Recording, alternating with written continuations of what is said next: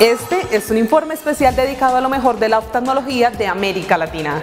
Les cuento que el pasado 1 de diciembre la compañía André Corporation realizó el segundo Congreso Faco Refractiva Internacional en el Hotel Hilton de Bogotá, Colombia.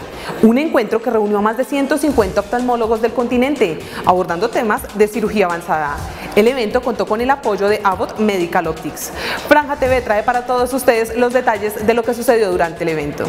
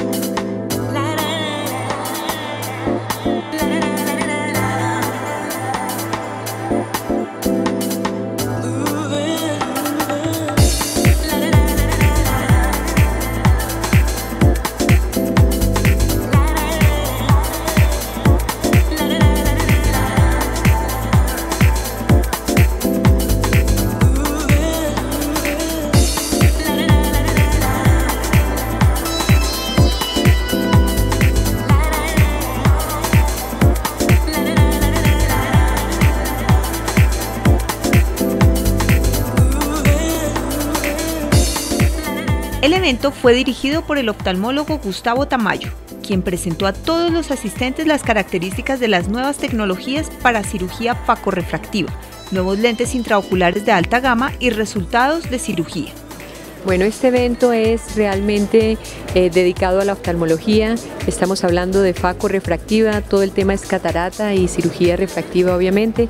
Tenemos a tres de los líderes de opinión a nivel mundial en cirugía refractiva y en cirugía de catarata. Bueno, la verdad es que hay unos lanzamientos importantes que llegan a Colombia, entre otras Colombia está siendo pionero de, lentes intraoculares para catarata como son el Technis multifocal, eh, estamos trayendo eh, lentes para la presbicia, de igual forma estamos lanzando nuevas tecnologías en la plataforma del Intralace, que es obviamente una tecnología sofisticada láser para hacer cirugía refractiva. Bueno, en cuanto a tecnología se refiere, pues contamos eh, yo creo que con toda la gama de lo que tiene que ver con cirugía refractiva. Tenemos el, el Biceps GC4 que viene acompañado también con el Intralace y algo nuevo que está saliendo que es el la suite Ayla SIC. Realmente en el país solo tenemos tres actualmente, pero yo creo que en este año tendremos unas cinco más eh, posicionadas en el país, también en Centroamérica y el Caribe. Con relación a oficinas que estábamos hablando, estamos en Estados Unidos formalmente, aquí y en Ecuador. Algunos de los invitados expertos de talla internacional fueron el doctor Nicolás Pereira, experto brasilero en el implante de anillos intraestromales para el tratamiento de queratocono. Entonces, la, lo que hablé hoy fue de anillos, los implantes de anillos intraestromales, los implantes intracorneanos. Eh, o que faço muito em Brasil são os implantes de anillos, queratoplastias e também os queratoplastias endoteliales. Então, as queratoplastias endoteliales e os anillos são maneiras de tratar os problemas da córnea com cirurgias minimamente invasivas. Há 10 anos atrás ou mais, a única opção que tínhamos para os problemas corneales eram as queratoplastias penetrantes. Las queratoplastías penetrantes tienen un índice alto de complicaciones, en torno de 39% de complicaciones y complicaciones muchas veces graves y reversibles.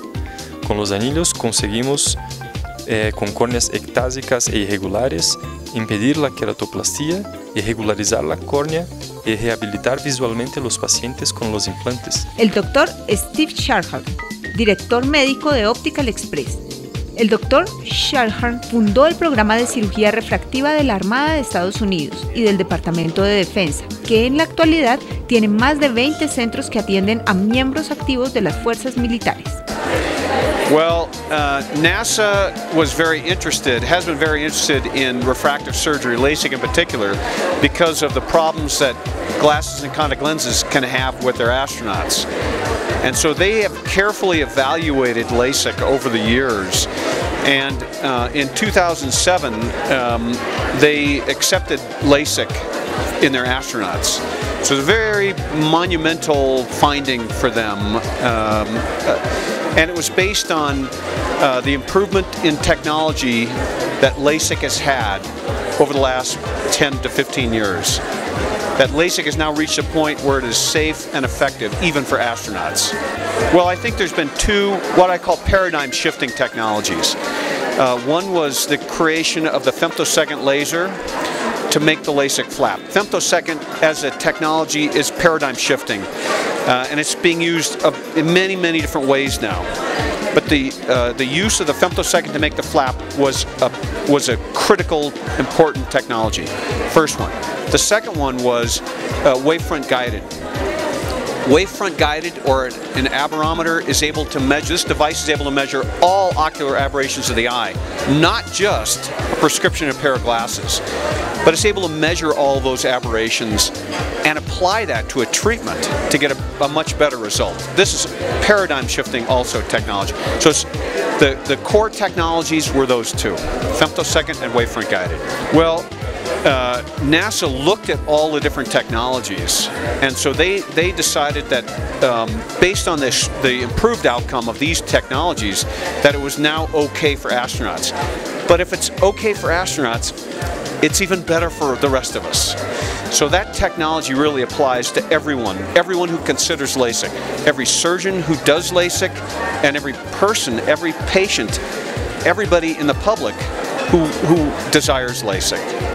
El Dr. Farrell Tyson, ingeniero biomédico de Cape Coral, Florida, experto en nuevos tratamientos para la catarata y patologías oculares como la tecnología de frentes de onda intraoperatoria en cirugía de catarata y el uso de lentes intraoculares de alta gama como TECNIS.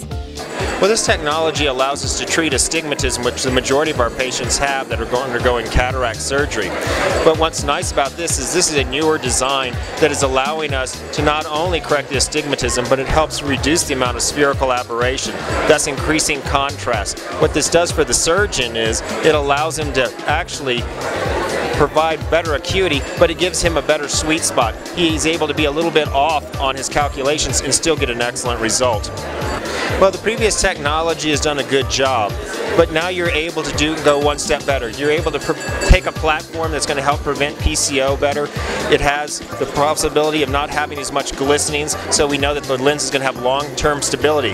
When people are paying extra for some of these technologies, they expect it to last a lifetime. And with this acrylic material, it has shown no glistenings or inclusions over 20 years worth of use of this acrylic. So that's nice for the patient to know that it's going to last for the rest of their life. But also, with this platform, it's very stable. The surgeon can actually move it clockwise or counterclockwise. With some of the other technologies, you can only go in one direction. So it makes it easier for the surgeon to implant. This is a technology developed by Abbott Medical Optics. What are your thoughts about this company? Well, this company is really um, on the forefront of ophthalmology. They're bringing a lot of new innovation to the doctors and to the patients. And, you know, you have to constantly be changing and advancing because otherwise you'll be left behind.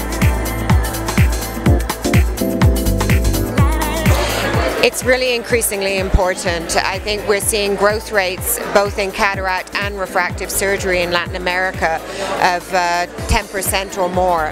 And uh, clearly, as other markets around the globe are slowing down, and we've seen some of the economic uh, difficulties that have been uh, experienced in the European markets, uh, many companies are looking to participate in uh, bringing new technologies to the Latin, Latin America markets as they start to expand the investment in healthcare and offering more healthcare to their population. And clearly we have the products and the technology um, to participate in that growth.